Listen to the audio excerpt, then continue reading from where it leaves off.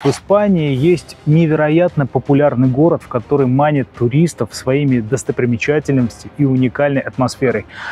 Но у этого города есть и теневая сторона, очень страшная теневая сторона. Этот город занял второе место в Европе и первое место Испании по уровню преступности. По сравнению с 2022 годом э, преступность здесь выросла на 8,6%. И одним из самых распространенных видов правонарушений являются карманные кражи. В среднем ежедневно здесь совершается около 277 карманных краж.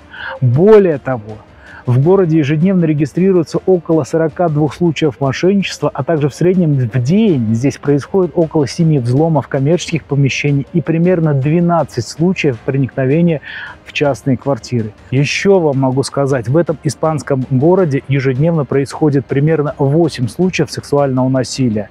Как вы думаете, о каком городе идет речь? Правильно, это Барселона.